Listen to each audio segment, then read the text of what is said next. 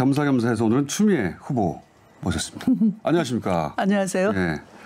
대통령이 이제 올림픽 기간 방해를 최종적으로 하지 않는 걸로 결정했지 않습니까? 네. 저는 지지합니다. 대통령 결정이 옳았다. 정상회담 의제에 대한 예. 논의가 좀 있었는데요. 어, 과거사 인식이 잘못돼 있는 데다가 또 그 인식 잘못된 인식으로 비롯된 경제 보복 조치, 예. 수출 규제 문제, 그다음에 있죠. 형식적인 회담이라면 우리로서는 하지 않는 음. 게 바람직하다라는 입장입니다. 수사인데 어떤 점이 어필했을까요? 그 짧은 기간인데. 다시 촛불, 다시 평화라는 것이 등 돌린 지지층 마음에 많이 와닿았다고 해요. 실, 아마 재보궐선거 참패 이후에 에, 개혁에 대한 기가 꺾였다. 민주당 개혁 의지를 잘 발견하기 어렵다. 하고서 지지를 유보하고 있거나 관망하던 분들이 제가 어, 다시 촛불, 다시 평화 이런 어, 말들이 너무 위로를 받았다.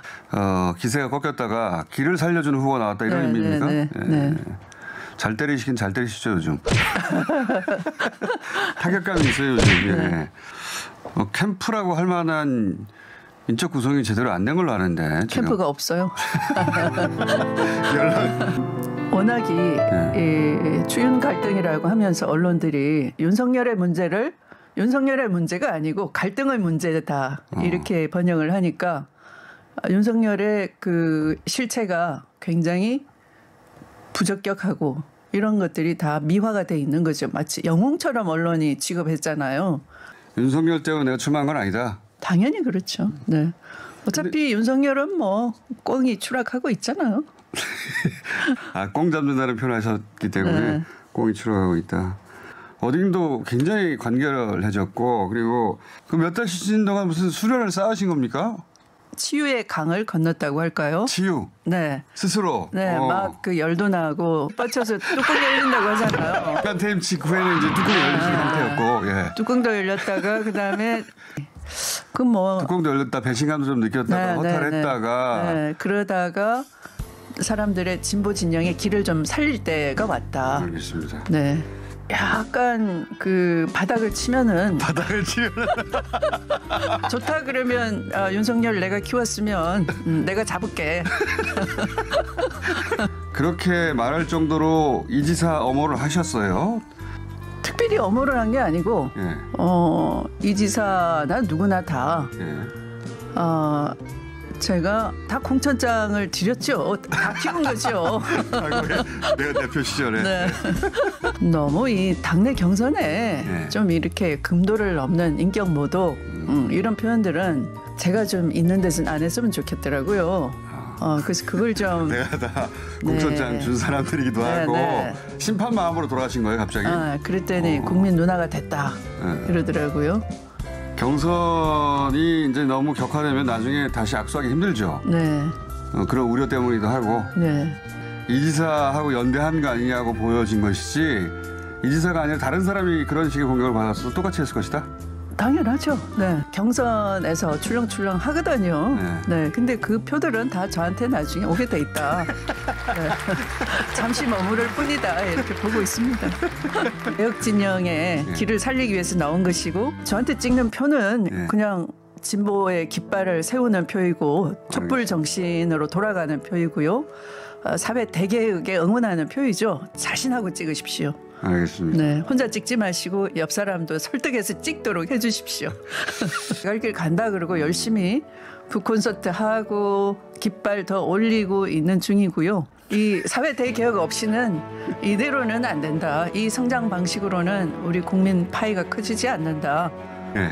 용기가 필요한 시대에 네. 에, 과감하게 결단하고 어, 주저하지 않는다. 심각하게 고려하고 생각한 다음에 행동할 때는 결단하고 추진한다 하는 장점이, 용감하다. 장점이 있고요. 예, 용감한 건 부인할 수 없죠 누구도. 예, 네. 용감하다. 네. 단점은 단점이 없는 것이 단점이다라고 하면 아침에 좀 밥맛이 없으시겠죠. 네. 혼나죠. 혼나죠. 네. 어, 단점은 계획을 주저하지 않고 뚜벅뚜벅 걸어가다 보니 뒤돌아보니까 아무도 없어요. 도와주는 의원도 어. 없고, 네. 또 당내에서도 어떤 프레임에 갇혀서 어, 아직도 어, 이렇게 성큼 아 개혁해야 된다 이런 용기를 함께 내지 못하고 어, 그래서 좀 어, 받쳐주는 힘이 없는 좀 외롭다인 음, 것이 단점 같고요.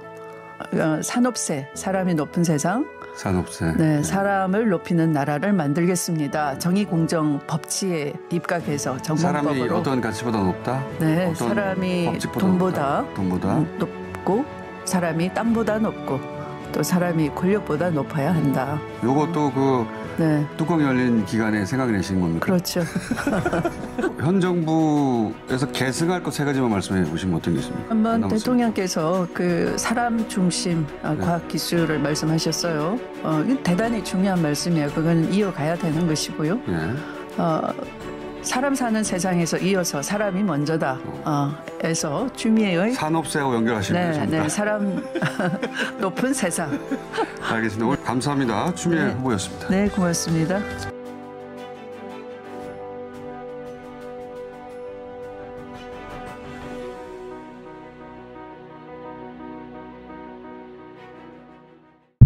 함께 시청해 주셔서 감사합니다. 다음에도 뵙겠습니다. 미디어 벙커 스나이퍼 낭만의 적이었습니다. 구독과 좋아요, 알람 설정 부탁합니다. 미디어 벙커는 문재인 대통령님과 함께하겠습니다.